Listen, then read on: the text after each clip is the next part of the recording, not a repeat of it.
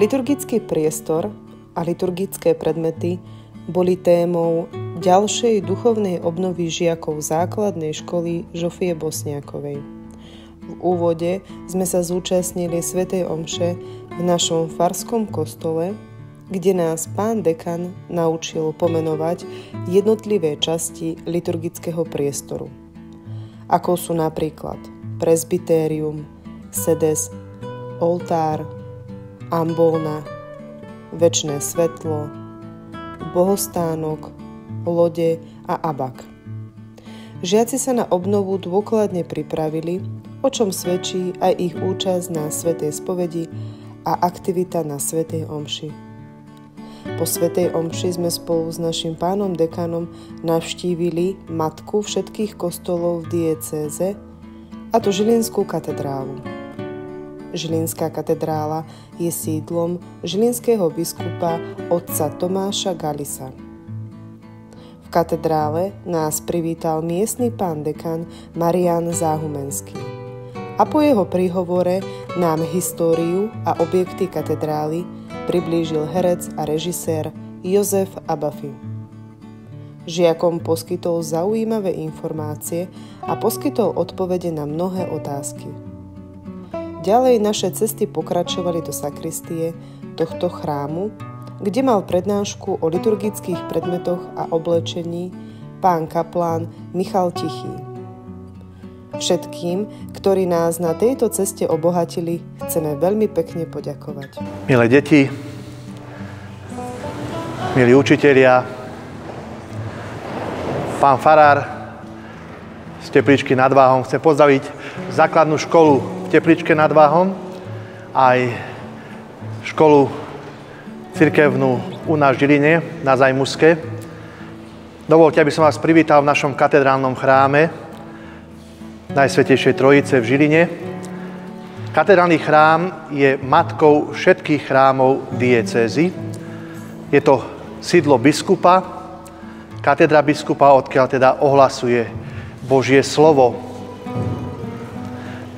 tak chcem, aby ste mali taký aj duchovný zážitok a niečo sa aj odniesli, nejaké vedomosti ohľadom našej katedrály v Žiline a o tom vie veľmi pekne rozprávať herec, pán Jozef Abafi, ktorý by nás troška aj previedol históriou, aj súčasnosťou. Môžeme vidieť, že sa aj obnovuje katedrála, takže verím, že z vás to bude zaujímať. Na záver môžete mať aj otázky a že si z našej katedrály odnesiete pekný duchovný zážitok. Takže vitajte všetci. Tak ahojte, príjemný dobrý deň. Viete niečo o Žiline alebo o tomto kostole? Vie niekto mi niečo povedať? Čo myslíte, koľko tak môže tento kostol mať rokov? 50? Viac. 2000. Koľko? 2006. To nie, to nie. No, alebo viete, kedy bola prvýkrát spomenutá Žilina, koľko môže mať rokov Žilina? Lebo najskôr tu vznikali také osady, hradiska aj na Straníku, v Divinke a v Závodí, ale aj tu na tomto mieste bola taká malá osada a Žilina sa spomína prvýkrát v roku 1208. To je veľa, čo? Ako Terra de Selinan. Zem Žiliny. No a také, taký, taká, taký významný zlom nastal, keď kráľ udelil Žiline také výsady. V roku 1321 prišiel do Žiliny kráľ Karol Robert a udelil také výsady pre Žilinčanov. Viete, čo je míľové právo? No, že proste v okruhu jednej míle môžu obchodovať len Žilinčania, oslobodili ich od daní a tým pádom sa táto osada začala rozrastať na mesto. Ale tento kostol tu už pravdepodobne vtedy stál. Samozrejme, nie v takejto podobe, v tejto forme. Keď potom budete vychádzať z kostola, na tejto strane, ako je divadlo, sú zvyšky starého múru. To bol pôvodný, pôvodný kostol. No a samozrejme vybudovali to dobrí ľudia, veľa práce na tom bolo. Lenže v tej histórii Žiliny sa často stávalo, že prišli aj požiare. Žilina zažila sedem veľkých požiarov. A kostol takisto veľakrát vyhorel. A veľký taký požiar, požiar bol v roku 1848, kedy zhorela celá strecha, kríž padol sem do kostola. Tu sa tu pod kostolom sú ešte krypty, to v budúcnosti sa bude ešte odkrývať, tam sú ešte možno veľa, veľa zaujímavostí, ktoré sa dozvieme a tie krypty sa rozbili. Takže to bola veľká, veľká katastrofa. No a vtedy ľudia nemali toľko peňazí na ten kostol, tak ten kostol 10 rokov stál bez, bez strechy, bez všetkého, ale ešte čo sa stalo v roku 1858, čiže o 10 rokov, prišlo v Žiline veľké zemetrasenie. V Žiline bolo zemetrasenie, možno ste o tom nevedeli, ale bolo to 5,1 Richterovej stupnice, čo bolo dosť veľa. Takže tento kostol 20 rokov nebol opravený, až po 20 rokoch kostol znovu vysvetili a poznáte meno Jozef Božetech Clemens? Možno sa to budete učiť. To bol taký výtvarník, ktorý robil tieto obrazy, ktoré tu vidíte. Obraz na Svetejšej Trojice. A e, vedľa sú vitráže, obraz Pany Márie a svätého Ignáca z Loyly. Svetný Ignác z Loyly bol taký zaujímavý človek, neviem, či ste sa o ňom niečo dozvedeli, ale on sa narodil, mal 13 súrodencov a mama mu zobrala, keď bol malý, ale otec videl, že je taký šikovný, tak chcel mať z neho kňaza alebo notára. Lenže Ignác, jeho lákalo dobrodružstvo, tak on sa stal rytierom a sníval o veľkých zážitkoch, o veľkých dobrodružstvách rytierských. No a viac ho zaujímal meč, takže rád narabal zo zbraňov a bol aj taký prchký, vyvolával aj súboje a vstúpil, vstúpil k tým rytierom, Narodil sa v severnom Španielsku a bojoval v Pamplone. A čo sa nestalo? No, ranila ho, si predstavte, delová gula rovno do nôh. Tak mu pomliaždila obidve nohy, tak na tú dobu vtedy neboli ani anestetika, to muselo bolieť, niekoľkokrát sa mu to snažili operovať a podobne, dlho sa liečil, nemohol chodiť, jednu nohu mal kratšiu. No a keďže je človek chorý, tak čo môže robiť? No tak číta. No ale chcel čítať o rytieroch, ale tam, kde sa liečil, boli len také knižky o panu Ježišovi, o pani Mári, tak začal sa vzdelávať a zistil, že namiesto toho, toho rytierstva, tak pocitil takú potrebu, že potrebný niekde inde. Tie hrdinské činy sa darí robiť aj inde a on založil spoločnosť Ježišovu. Veľa sa vzdelával. Predtým sa mu nechcelo veľmi učiť, ale začal sa vzdelávať, začal študovať a dnes je znovu významný svetec. Vidíte, a nám sa niekedy nechce učiť. A nakoniec možno, že je nám trošku tak podobný tento svätý Ignác. No a to, čo vidíte pred oltárom, e, tá socha pána Ježiša, to je z mŕtvych stane pána Ježiša, to je z talianského mesta, tá socha je z mramoru a z talianského mesta Carrara sa priviezol v roku 1949. To je niečo z najmladších, najmladších e, sloh, ktoré sú tu.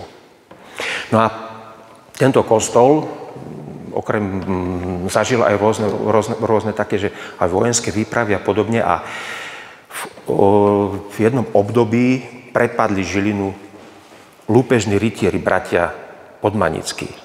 A oni z tohoto kostola urobili normálne, že pevnosť. Skladovali tu pušný prach dokonca v tejto veži, ktorú budete vidieť vonku. Tam údajne skladovali aj poklady. Takže z kostola urobili také no, nepekné miesto. Takže potom sa kostol znova vysvetil po čase.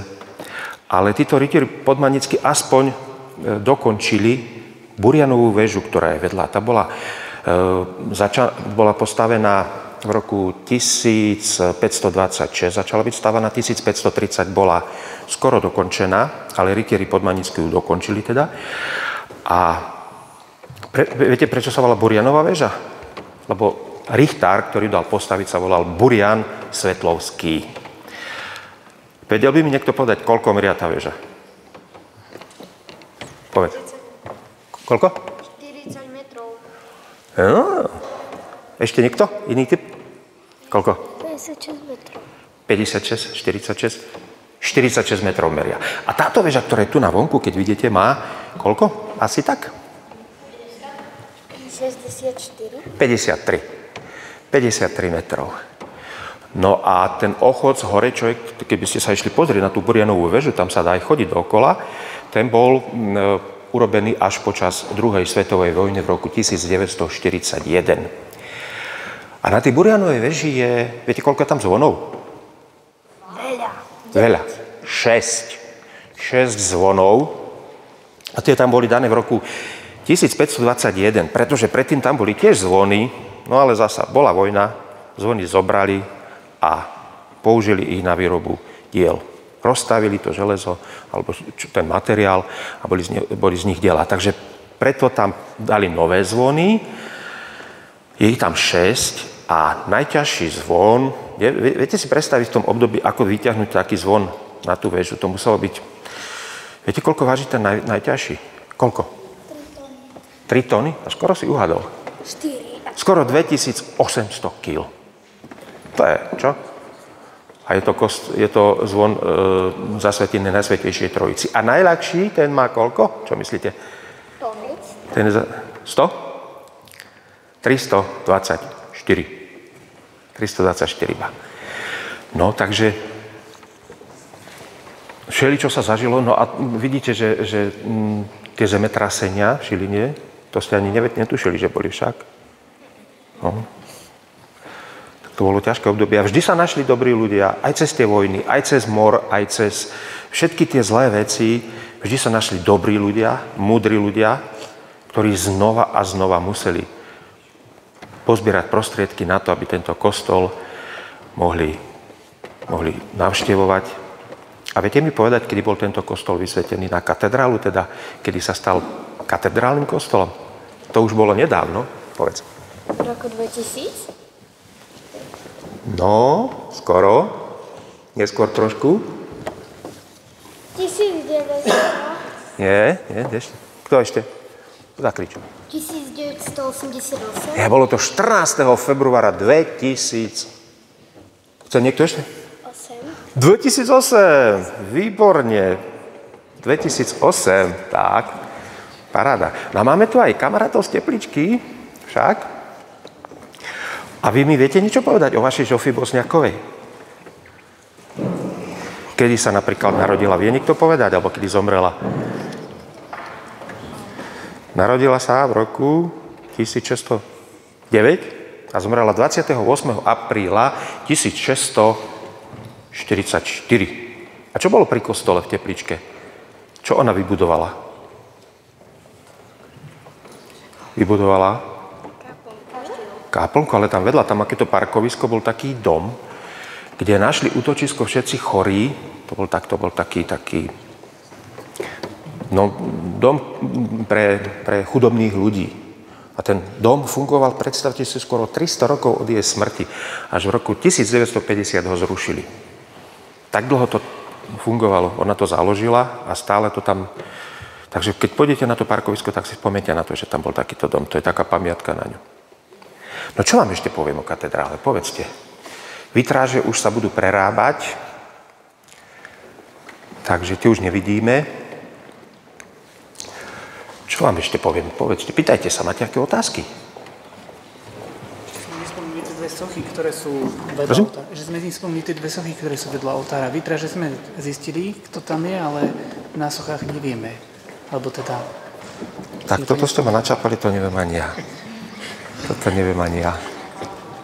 Tieto sochy. Jeden bude Pavol. Jeden Pavol bude. Jeden Pavol s mečom, no. To by Peter Pavol? S mečom určite Pavol. A Peter je A ešte dôležitá vec je, že ktorý svetec je tam hore, nad, nad, nad tým obrazom trojice. Či ho No, kto to vie? Vie niekto?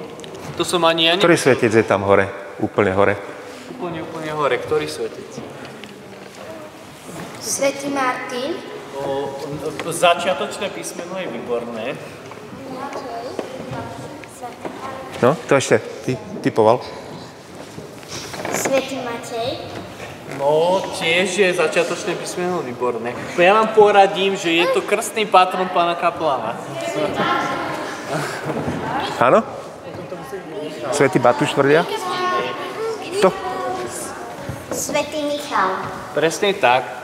Nie sú, uh, my sme zvyknutí, že svätý Michal Archaniel sa vždycky zobrazuje ako taký aniel s mečom a brnením, ale ani ja som dlho nevedel, ale vzadu som si to prečítal, že hore je svätý Michal Archaniel. Tak je mi to také blízke, že hore, vlastne ešte nad tým obrazom Najsvetejšej Trojice, je obraz svätého Michala Archaniela. Pretože on je patronom církvy a pápež Leo, to bol Leo, desiatý, alebo koľko, neviem, tak on vlastne prikázal, aby sa aj po každej svetej omši vždycky modlil k svetomu Michalovi Archanielovi a preto vlastne aj dali hore na ten, obra, na ten obraz trojice, obraz svetého Michala Archaniela. Tak budete vedieť, keď niekedy tu niekoho zavediete, tak budete vedieť takú zaujímavosť, lebo nie sme zvyknutí, že je tak býva zobrazený, on býva väčšinou z nejakou helmou a podobne, ale je to svätý Michal Archaniel. Pri sebe. A má, vidíte, má, dobre ste si všimli, helmu má tam pri jednej nohe a v ruke drží takú kopiu s takou vlajkou a to je taká výťazná vlajka. Lebo on bol vlastne vodca nebeských zástupov, ako čítame v zjavení, proti, keď sa Lucifer zoprel pánu Bohu a povedal, že mu nebude slúžiť. No, vidíte, no a zase ho nemáš. Perfektne. Takže kto nakreslil ten obraz, viete mi povedať, už som to hovoril. Či si pamätáte? Či si pamätáte? Prosím? Ten, o ktorom ste vraveli. No, ten, o ktorom som vravel, správne, ale či si niekto zapamätal meno. Určite sa s tým menom, pokiaľ by vás zaujímali výtvarné umenie, určite sa s ním stretnete. Jozef Božetech Klemens. To si zapamätajte, to meno určite, určite tu bude, lebo on, on maloval aj tam obrazy, tam je Sveta Anna pri vchode na ľavej strane, keď sa vchádza. Takže aj ten obraz maloval, dokonca aj tuto po tých bokoch sú obrazy od Jozefa Božetecha Klemensa.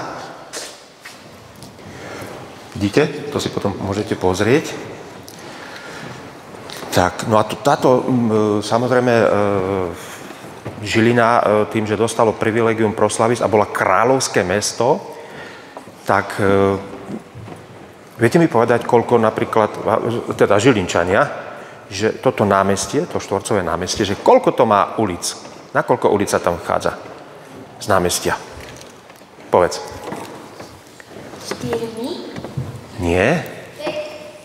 Je ich 9, 9, lebo keď vidíte, tak každá, každý ten roh má, má e, dve ulice a ešte je jedna tu na tá Burianová medzierka. Ty sa chcel niečo spýtať? Od ktorého roku je, sú tieto lavice? Uú, tieto lavice. Vieme? Prosím? Neviem, či si o tom nejaký záznam No, asi. Toto nevieme povedať, kedy sú tie lavice aj, aj z povedelnice tu boli dávané, ale toto presne nevieme. No, čiže ešte, ešte niečo, áno? E, Ktorá byla tú krížovú cestu, ktorá tu je zavesená? Krížovú cestu? Hm. Vidíš, toto, to ste ma nachytali, ani toto neviem. Kto robil krížovú cestu? No, ale... A viete, kde je, keď už hovoríme o tejto rezbarskej práci, viete, kde je najväčší Betlehem na Slovensku? Taký aj, čo chodí, aj je, tam, je tam 300 figuriek a 150 z nich sa, sa hýbe. Kde? Čerchovej. No, po, skoro, ale... Liptovskom Mikuláši. Je v Rajeckej lesnej, v Rajeckej lesnej. A to vám viem povedať, kto tu robil ten pán, zomrel nedávno, volá sa Jozef Pekara. Hm? Prosím? Ďalší Jozef. Ďalší Jozef, áno. áno, áno, tak áno. Áno, aj svätý Jozef, aj výtvarník Jozef Božetech Klemens, aj, aj, aj Jozef Pekara. A čo vám ešte poviem o Žiline a o tomto kostolíku? No, pýtaj sa. Prečo sú v stenách vybraté uh, tehly? Prečo sú v stenách vybraté tehly? No, to je zaujímavá otázka.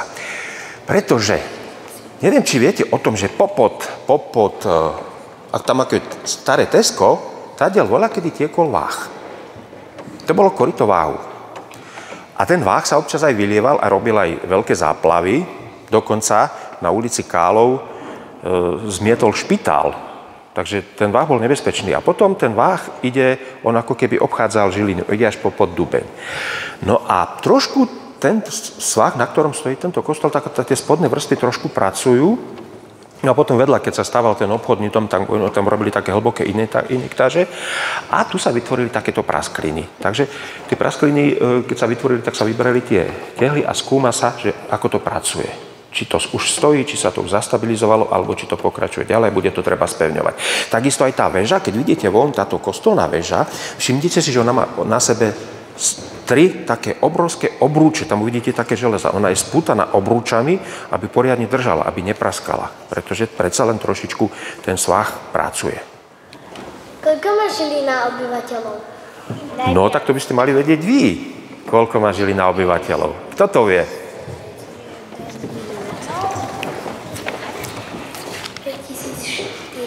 No, o, viac, viac. 76 tisíc? No, ešte viac. Ešte viac, ešte viac. Vy to viete? Koľko máte plička? Kto vie? 4 tisíc? Wow, ja som si myslel, že len 3, tak to sa rozrastlo. No, kto vie? Žilina má 81 miliónov obyvateľov. Ja som bol nedávno v Šanghaji, ten má 24 miliónov a to bolo obrovské mesto. Tak miliónov asi nie. 10 tisíc? Nie, nie, nie, je to vyše 80... Správne, áno. Plus minus ono sa to hýbe, ale taký aktuálny stav je 85 tisíc. No, čo vám ešte o, tom, o, o tomto poviem, keď e, prečo to praská, to už viete. Čo ešte chceš vedieť? A tie čísla pri tých dierach? Ako ešte raz? Tie čísla pri tých dierach? No tak, aby sa vedelo, že ktorá puklina ako pracuje, majú očíslované a týmto sledujú, že a trojka sa trošku pohla, alebo až a peťka stojí, nič sa nedeje, je to v poriadku. Preto je to očíslované, tak ako máte vy očíslované stránky v knihe. Ja viem prečo, lebo každá diera má možno aj iný materiál a oni to majú všetko zapísané aj s tým číslom. Áno, to je správne, to je správny postreh. Áno, niektoré sú tehly, niektoré sú aj kamene. To aj vidíte hore, že je to z rôzneho materiálu. No, niekedy sa, keď, e, keď ten požiar bol veľký, tak e, tie múry aj vtedy praskali a e, rutili sa aj klemby, tak ten materiál sa znova použil a znova sa použil na opravu, tak je tam rôzny materiál. Od koľkátého roka bol postavený Alpark? Alpark. Oh. tak to si ma zaskočil. Ja som sa zaobral históriou, ale týmto, to, týmto si ma, týmto no si dobre, ma ale ja vás teraz zaskočil. vyskúšam, všetkých. Hore je takých 7 obrázkov a že či mi budete vedieť povedať, že čo to symbolizuje. Vidíte v takých krúhoch tie obrázky? Ten, ta, ten tam symbolizuje Čo to je? krst. A prečo symbolizuje krst? Čo tam je na tom Pretože obrázku? tam je nejaký krčak s vodou Krčak a s vodou, košielka a čo tam ešte je? svieca. Vynikajúco. No potom tam máme ďalší obrázok. Tam je taká helma a taký štít. Čo by to mohlo byť? No som zvedavý, či na... A prečo? Lebo sviatosť biermovania je ako keby taká posila v tom sviatostnom živote. Je to ako keby si nejaký rytier dal helmu a brnenie, tak preto je tam. Potom je tam, to som zvedavý, či bude toto niekto vedieť. Ten tretí obrázok, a vie niekto prečo, to asi skôr starší budú vedieť. Sú tam také kľúče a roztrhnutá reťaz. Prečo by to tam... Čo si myslíte teda, aká je to sviatosť? Svieta zmierenia. Zmierenia. Viete aj prečo je takto symbol, vyznačená? Porozmýšľať. Viete naozaj? Prečo? Presne, že 7 sviatosti, ale teda prečo je sviatosť zmierenia tými tou reťazou roztrhnutou? Lebo pán Ježiš povedal apoštolom, že čo rozviažete na zemi, bude rozvezaný v nebi, čo zviažete na zemi, zviazaný v nebi a dali moc aj odpúšťať hriechy a tá roztrhnutá reťaz symbolizuje, že keď je človek v ťažkom hriechu, tak je ako keby omotaný takou reťazou. A potom je tam, čo je nad tými kľúčmi? Čo tam je znázornené? Ruka. Ruka. A čo robí kniaz rukou pri Svetej spovedi? Dáva rozrešenie, tak preto je tam tá ruka.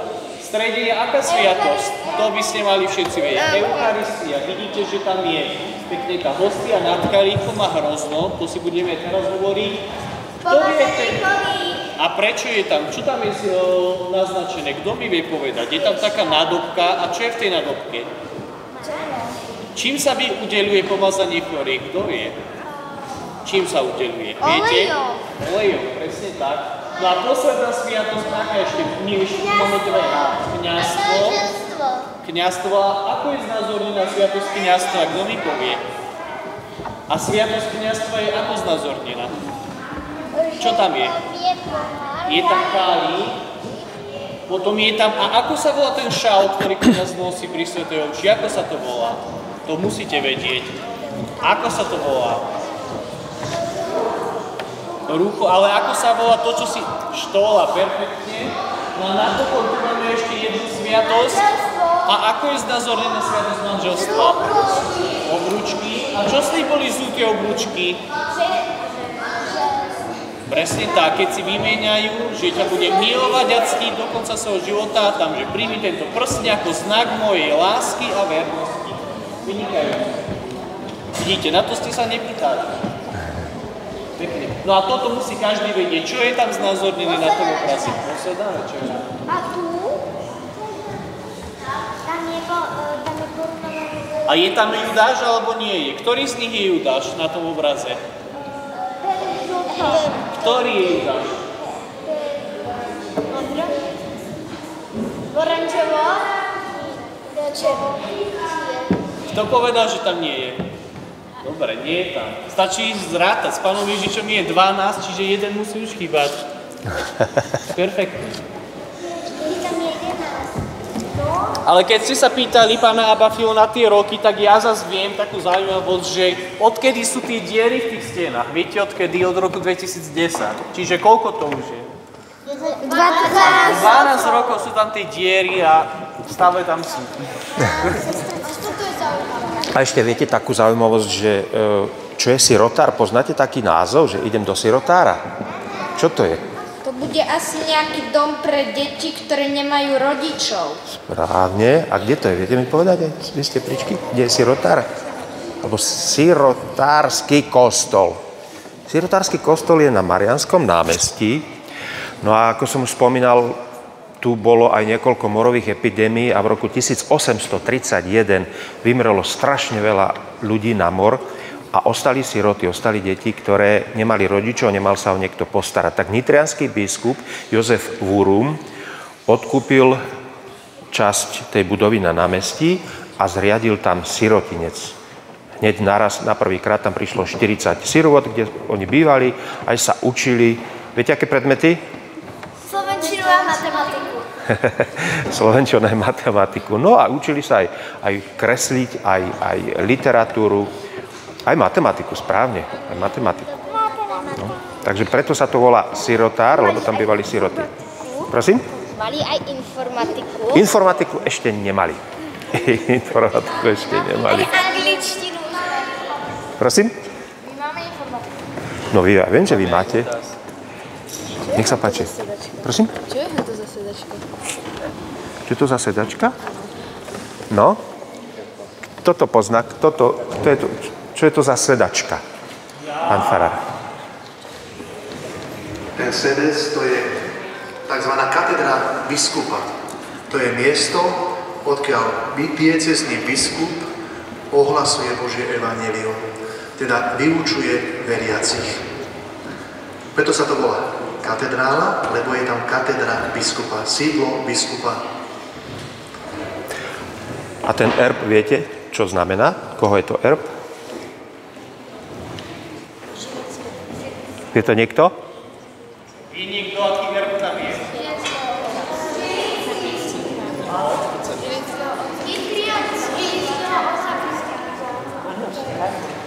To musíte vedieť. Pán, pán dekan nám už prezradil, koho je to katedra? Koho je Ako?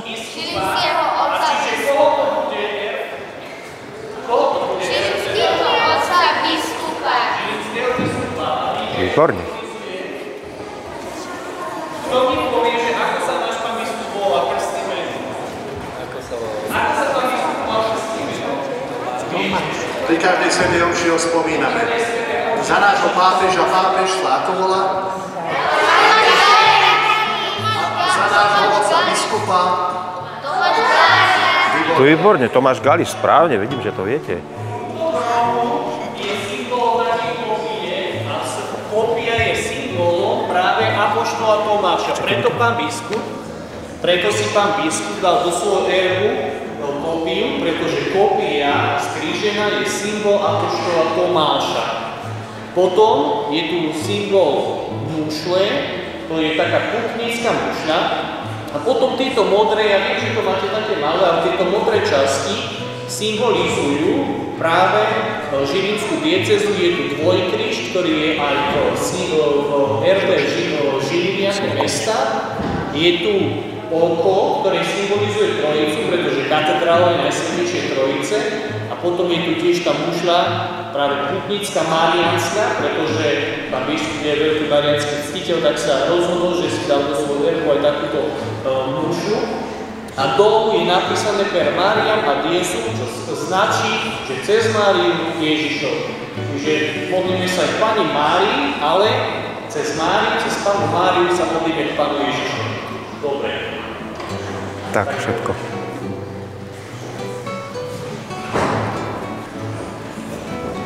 Ja sa chcem poďakovať za vás záujem, že ste navštívili náš katedrálny chrám v Žiline. Verím, že vás to obohatilo. Že keď teraz chodíte aj s rodičmi do mesta, že náš chrám už nikdy nebudete obchádzať, že vždy prídete aspoň na chvíľučku sa tu zastaviť, pokloniť sa Pánu Ježišovi, pozdraviť Pána Ježiša a troška si tu odpočinúť pri Pánovi, aby ste potom mohli pokračovať ďalej Prajeme vám pekný požehnaný deň. Keďže je mesiac máj, mesiac Pani Márie, tak by sme mohli zakončiť krátkou modlitbou našej nebeskej Matke Pani Márie. Môžeme sa všetci postaviť. Zdravá Mária, Pán s Tebou, požehnaná si medzi ženami a požehnaný je plod života Tvojho. Svetá Mária, Matka Božia, pros za nás hriešných, teraz i v hodinu smrti našej. Príjmite požehnanie. Pán s vami. Na príhovor Pani Márie a vašich osobných patronov nech vás žehná a ochraňuje Všemohúci Boh Otec i Syn i Duch Svetý. Amen. Choďte v pokoji. Bohu vďaka. Ďakujem.